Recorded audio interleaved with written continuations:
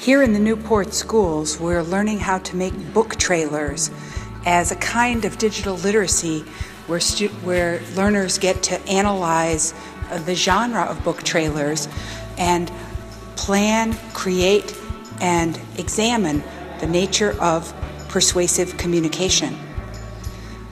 As part of their work, each teacher selected a book and developed a movie trailer using the software tool Kizoa. It was work and a focus and fun.